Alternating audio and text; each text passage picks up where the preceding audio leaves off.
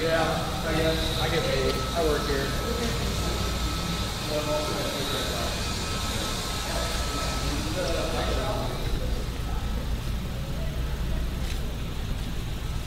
He's one of the featured majors. Yes, yeah. Photojournalism major working here.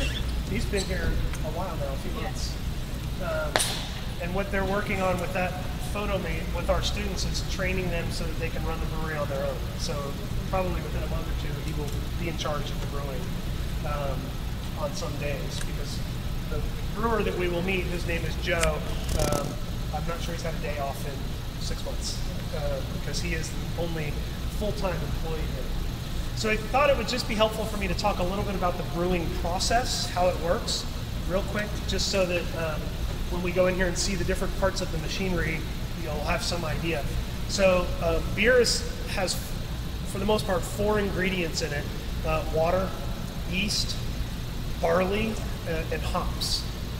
And the process for making it is to take the, the grain, barley or sometimes wheat, um, and to heat it up to about, uh, and the, well, let me back up, is to take malted barley. And so if you go into a grain field and you pick barley, it's going to be a seed, like a plant seed.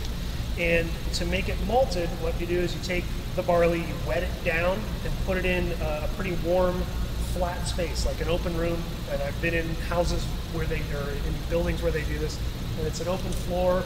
Of, in the Coors, where Coors does it, it is the size of this whole building, and it's just barley on the floor. They keep it wet and warm, like the plant is gonna, like the seed is gonna grow.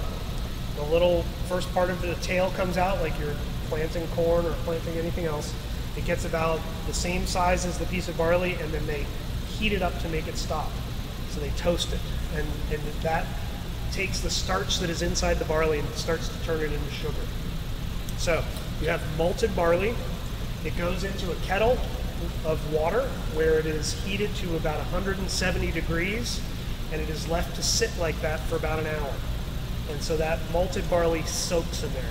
And what you're making is tea, more or less tea. What's happening with that hot water and the barley is sugar is being taken out of the inside of that piece of barley and brought out into the water. And so that's just soaking, you're just soaking the grains. It's like soaking tea to get all the stuff out from inside of the tea bag. Here you're soaking grains to get the sugar out of that piece of barley. The sugar water is moved into a different kettle, and we'll see where, where all that goes. And then it is brought to a boil. And that during that boil, hops are added to it. If we were to drink the, the water that is made from just the barley and the sugar, it would taste awful to us. It would be too sweet, and it would be the wrong kind of sweetness, and it wouldn't. It would be very, very unpleasant. So what the hops do is the hops contribute a little bit of bittering to it. And when we talk about that in here, I'll get some hops out. You can see them and smell them and taste them. Um, they're not good uh, on their own, but they are bitter. And the bitterness of those hops counteract the sweetness of the barley. And at that point, the liquid is called wort, and it's spelled W-O-R-T, but it's pronounced W-E-R-T because it's a German word, wort. So that wort then is boiled with the hops, and you have then a liquid that has sugar and it has hops in it. You have to boil it to get the bitterness out of the hops. Hops are a cone, it's a flower, it grows on a vine that grows about 20 feet tall. It is in the same um, plant family as hemp and also therefore as marijuana. Um, it's a cannabis plant, uh, but not the marijuana kind. Um, has no real drug properties other than the bitterness and some other flavors to them. Um, some of the chemicals in it can taste citrusy like grapefruit. Some of them can taste like um, pine needles or tar a little bit. A lot of different flavors can come out of it. Um, so it's boiled, and from there it is cooled down very quickly, and then it is moved into a fermenter, and into the fermenter goes the yeast. And the yeast then begins to eat the sugar that is in that water, and yeast then puts out two things, and I, is what I tell my students. Beer is the product of yeast eating sugar and farting out CO2 and peeing out alcohol. And that, so, so alcohol and CO2 are waste byproducts of yeast eating sugar. The CO2 is vented out of the building, the alcohol stays in the water. Not all of the sugar is extracted from that wort. And so the biggest enemy for a brewer is infection, that other organisms can get into that liquid and begin to make it go bad in a different way than you want. Um, and so what you'll see, the, what they spend the most time doing in here is cleaning things. It's like a hospital in there, in restaurant, probably cleaner than a restaurant, any restaurant, I'm sorry to say. Um, but they spend a lot of time just cleaning things to make sure that everything is as spotless as can be, that there are no bacteria, any organisms in there that are going to get into the beer and start messing things up.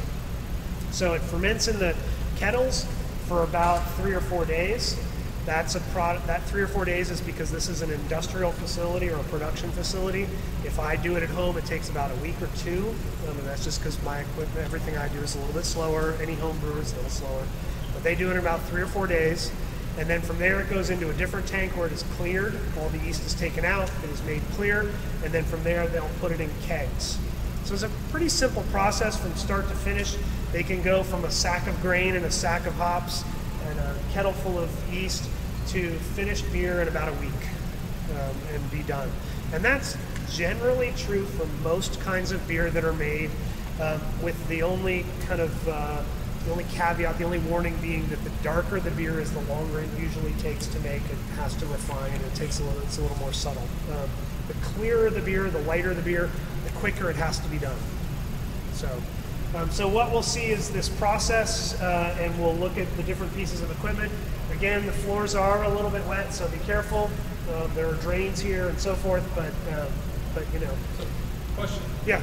Looking at this second tank here. yes, It's got a lot coming out of the bottom of it. Yeah. That's normal. that's CO2. So they don't vent; they just bring it into a bucket. That is that is fermentation in action. If you go and put your face down next to it and smell it, it'll smell like bread. So that's not a that's not a leak. No, no, that's that's good news for them. Seeing that means everything is working as it should be. In my house, that's not good. Yeah, in my house that's not good either. So yeah, so it's a lot of bubbling in a bucket. Is that what you're talking about? Yeah, just coming out the bottom there. Oh, that. Oh, I'm sorry. That no, that's cleaning. That that Oh, okay. that they're cleaning the tank. Sorry. If you look at the next one over, there's a tube going Oh, into yeah, a bucket and a few others, and that's the fermentation. I So was thinking, dang, that's a lot of. yeah, with that they are um, they're cleaning the tank out. They probably just finished a batch that's been moved over to a bright tank. Oh yeah.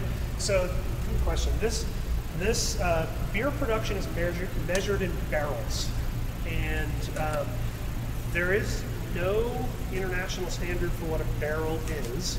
In the United States, a barrel is about 32 gallons, about 31 and a half gallons. Um, a standard keg that you would see somewhere um, at a party for you guys, at a restaurant for you guys, um, a standard keg is, is actually a half barrel, and it's about 15 and a half, 16 gallons. And then there's smaller ones that are look like uh, tubes, and those are called sixtels or torpedoes or something like that. That's a sixth of a barrel. So what you'll see on the front of this is the measurement of it We'll say 30 BBLS, and that's 30 barrels. Um, so these, each of these fermenters holds 30 barrels of beer, so 30 times, uh, so 30 barrels times 32 gallons, so 900 and some odd gallons. And they will run one of, they'll run, so they have the potential to do one of these a day once they get up and running. Um, and so 30 barrels pretty much every day for seven days a week for 365 days a year, if they could, if they had enough employees and enough demand. So it's a lot. It's yeah, a lot. Um, uh, yeah. So um, now, what you will also notice is that where they cook the beer and where they clarify the beer is 15 barrels. So what they do is they run their cooker twice. They fill it up once, then do it again, and fill it up. The cooking process takes about six hours, more or less, from the time you mash the grains, put the grains in and heat them up like tea. That's an hour and a half. Getting it going takes about 45 minutes or so.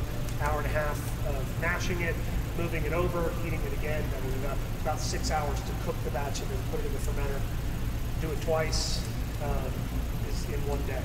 We'll fill one of these.